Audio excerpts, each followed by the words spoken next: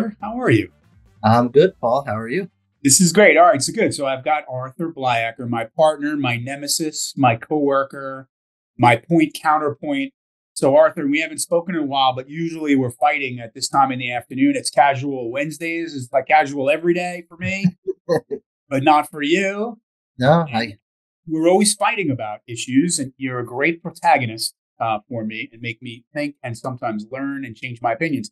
But today, we, we I thought we would talk about something that I think you and I don't disagree on, and we right. Yep. We, We find out something we agree on. yeah, there's many things we we usually disagree, but I think we agree on this topic. We're going to talk about damages in civil cases because it's something we do all day long, right?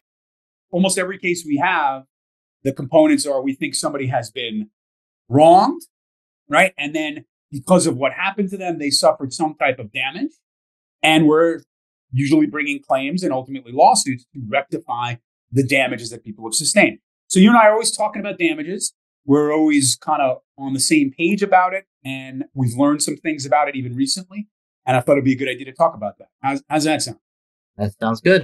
It's an important topic to talk about. very important it's well central to everything we get right so and actually before we started you said because i, I didn't let you prepare right you did not. And you said you said paul do me a favor please don't put me on the spot right I did ask you that. but you are a trial lawyer are you not I try to be. What do you? Whoa, that's very. That's a little humble of you. I think you're actually a really good one. Despite your youth, you have more experience as a young trial lawyer than than almost any I know at your age. But every trial lawyer gets put on the spot, so we are going to put you on the spot a little bit today. But they'll be easy ones, okay? Let's do it. So let's start with why don't you explain to our audience all the different measures of damages that a typical civil case involves. All right. So, civil case meaning the type of uh, cases you and I typically deal with, personal injury cases. Whether it's a car accident, a trip and fall, slip and fall. In this realm, the main component, what we call compensatory damages, was the person hurt and should they be compensated? So you look at the physical injuries they sustained. And that's different than in like a contract world where you have liquid damages. You know exactly how much you suffered. In our world, it's different. It, you know, you try to put a value on something that's hard to evaluate. So, Right. So, you know, let me stop you. Let, let me stop you for a second. That's great. You mentioned two words. They were lawyerly words. You said there are compensatory damages and liquidated damages, and they're different. Right. So explain that to me as if I was ten, ye- ten- a tenth grader. So in liquid, You, liquid know, you talk to me like I'm a tenth grader a lot, by the way. So I got you. doing that. So liquid damages is where you have a set amount that is determined before the lawsuit starts. So in a contract case, I will pay you a thousand dollars for you to paint my house. You painted my house, I didn't pay you. I breached the contract. We know the value of that loss. It's a thousand dollars. That's liquid damages. We don't have to try to evaluate what the measure of damages are. In our world, if a person say breaks an arm, how much is that worth?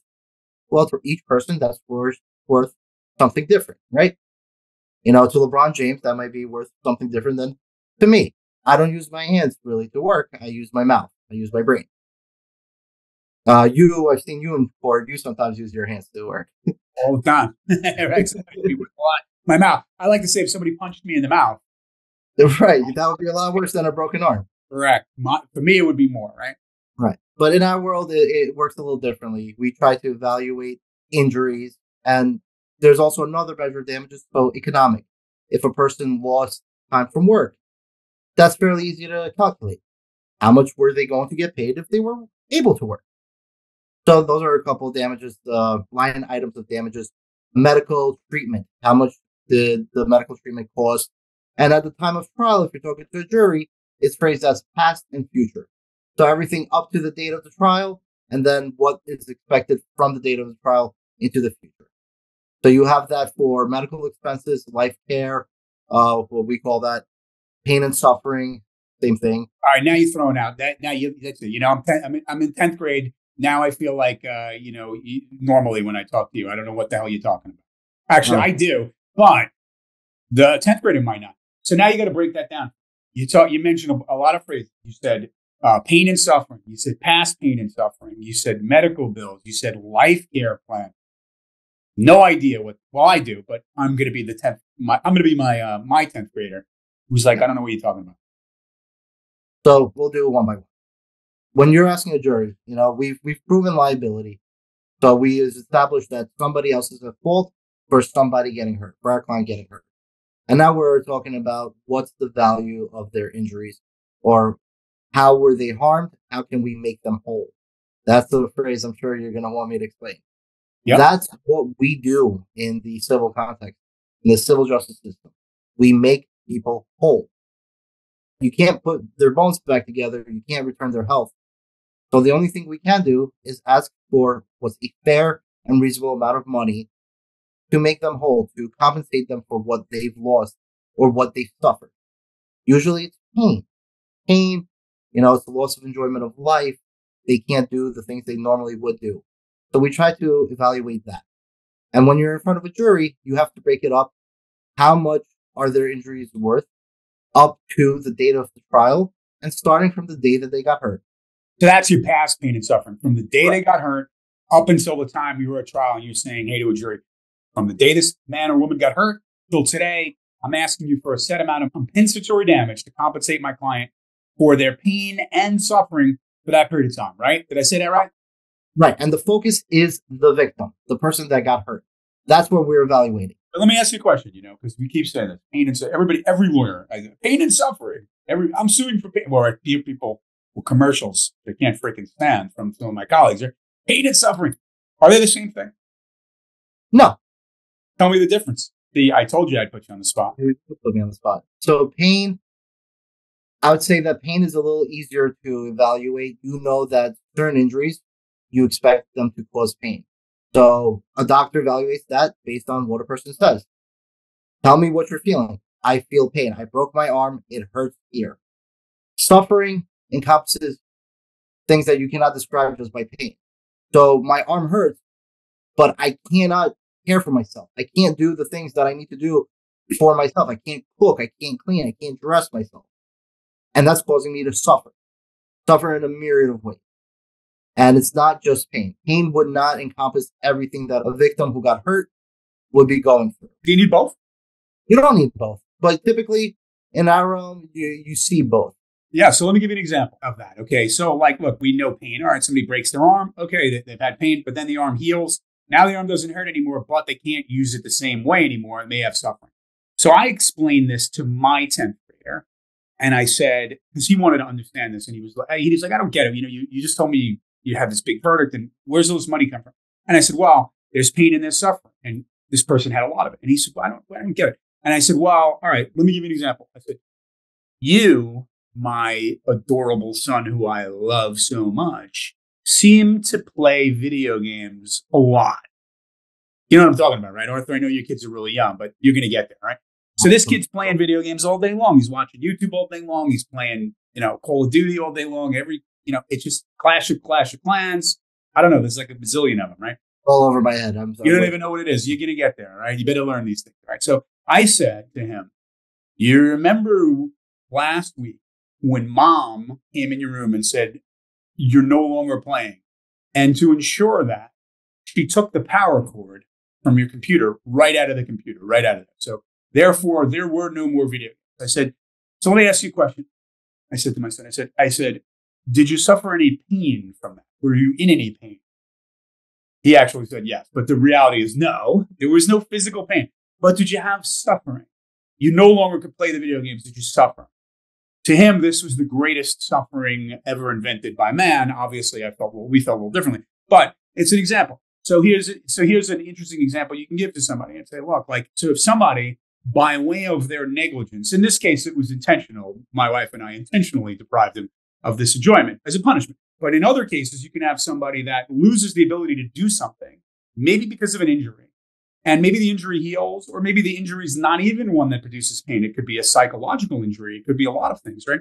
And that injury prevents that person from doing things that they normally would like to do. So maybe playing video games. I don't know. Playing basketball. I don't know. Somebody gets injured in, in a car accident, they wreck their knee. It's horribly painful, but a year later, the knee's 100%. But guess what? You're never going to play basketball again. Well, that you've now taken some element of that person's life away from them, their enjoyment of life.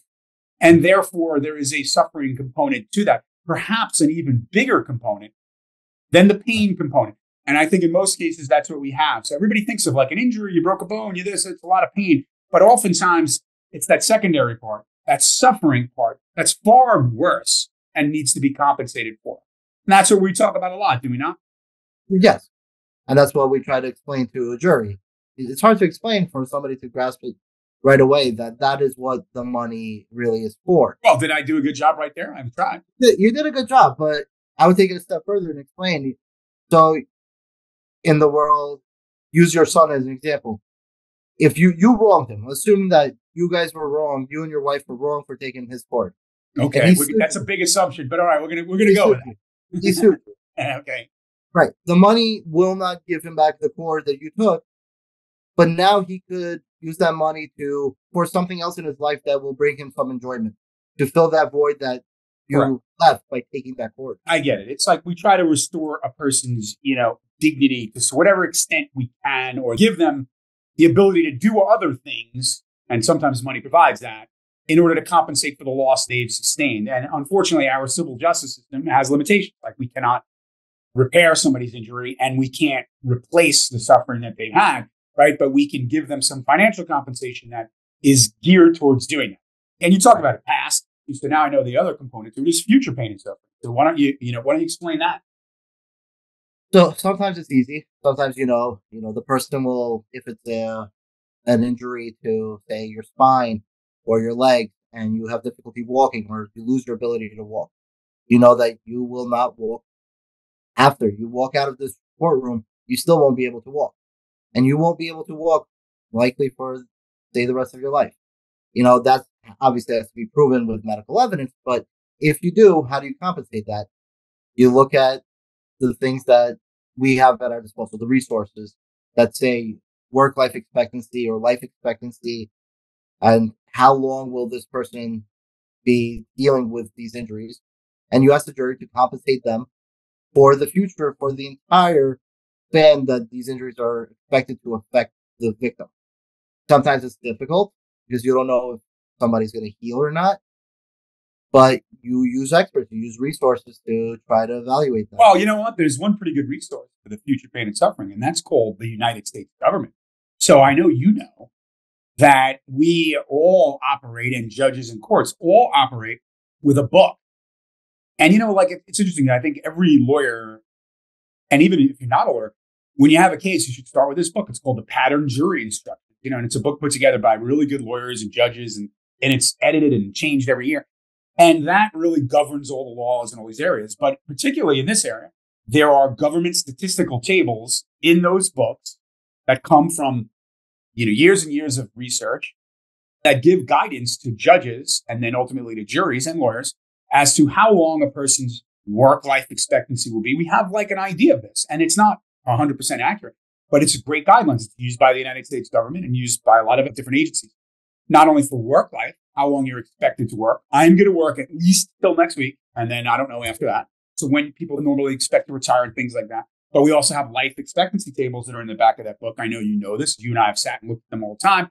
And the life expectancy tables for men, for women, for all these kind of things. And they give a sort of a guideline as to how long people are expected to live and how long people expect to work. And those guidelines are then used by us as lawyers and ultimately, hopefully, by jurors for this future pain and suffering component, or in a case of somebody that wasn't able to work, for the potential future compensatory damages for, let's say, lost wages, which is a component, right? That's how we do it, is it not?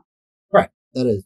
So if you were disabled from this point, being that you're, how old are you now? Like 27?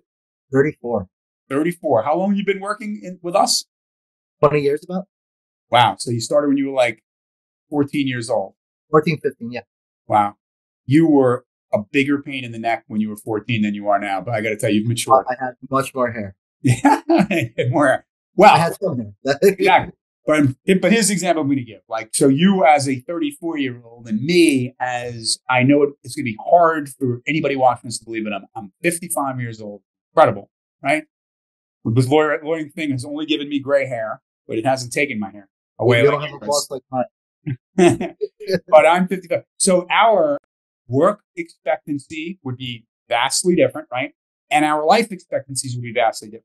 And so that would manifest itself if you and I each had the same claim. There'd be difference, right? Like we would be asking a jury for more money in future pain and suffering for you than me because you have a longer life expectancy unless I kill you Right. just doing something wrong here, which would never. Uh, and you have a longer work life expectancy than me. Well, simply by the differences in in our age. So that those are components to this future damages type of claim, are they not? Yeah. So that you know that's pretty um that's a pretty interesting concept for people to think about. And then you mentioned another phrase a little while ago called life care. So that and I know what that is, right? And so we're, what we're really talking about is potentially future medical needs for people. And so sometimes we do what's called a life care plan, right? But not all the time. So why don't you explain? Because that's not in every case, you know, a, a future life care plan. So, but it but it relates to this future claim of medical damages. So how does that work? I mean, not every case calls for it, but you know, when somebody suffers an injury that is expected to affect them for the duration of their life or for a long period of time, and you know they will need certain care. Sometimes we know that what they need because they're already getting it. Sometimes they're limited by their own resources, and you know the the case, the purpose of the case is to make sure that they can get the care that they need in the so what we do, we hire qualified experts, people that do this for a living, that they refer to the medical records, the doctors, you know, the victim themselves, what they say, and they identify what level of care the person will need in the future, whether that's a home attendant, whether that is moving somewhere that has an elevator as opposed to a walk-up building. How many times will they need to go to a certain specific type of doctor? Will they need a neurologist visit? Will they need an orthopedic visit? How many times a year will they need to get um, diagnostic exam? So all of this, a life care expert will put into easy to read and understand form, so charts typically, and it'll say they will need this type of care for this long, this many times, and here's the cost. Okay, so now, but we really, when we have life care plans, we're typically talking about people that are, have been really, really seriously hurt and may need some real care long term, potentially for the rest of their life.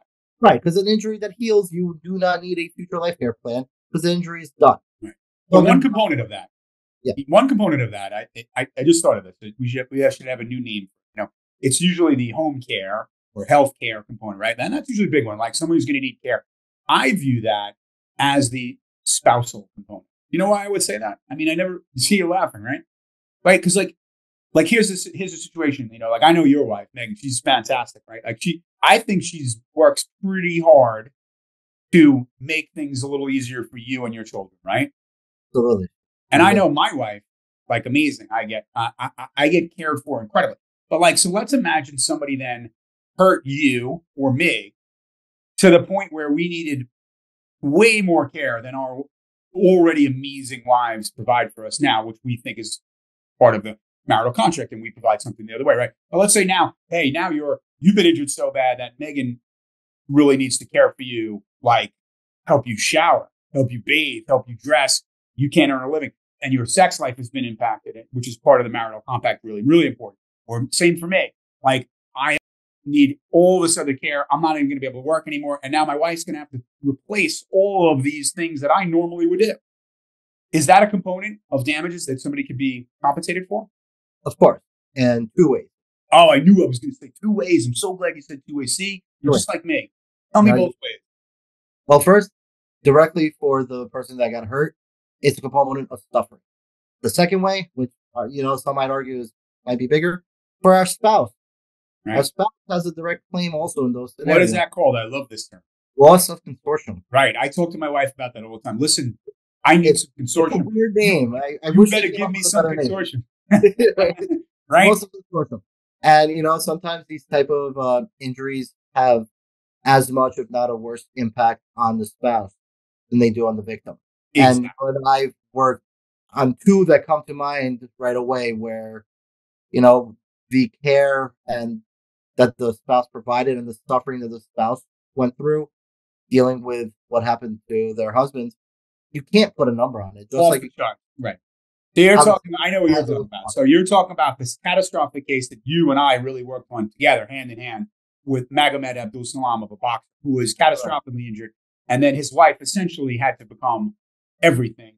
And so she received really the maximum compensation uh, that I think anybody's ever gotten in New York State for spouses. It's called loss of services and loss of consortium. That's a completely separate type of claim.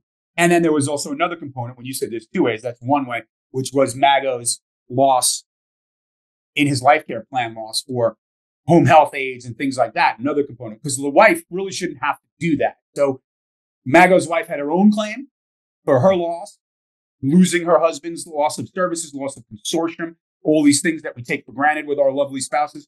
And then there was another element of damages in the Magomed case for uh, his future life care needs for having somebody to actually come in and help and care for him, which the wife was doing, which Baca was doing and still does, but is really, that's not really her obligation when somebody else calls that negligence. So we got that compensation support. So here's what I want to do. I just want to sum this all up and wrap it up in a nice bow for this little piece of what we're talking about damages. So I can bring us into the next level of damages, which we didn't even touch on. All right.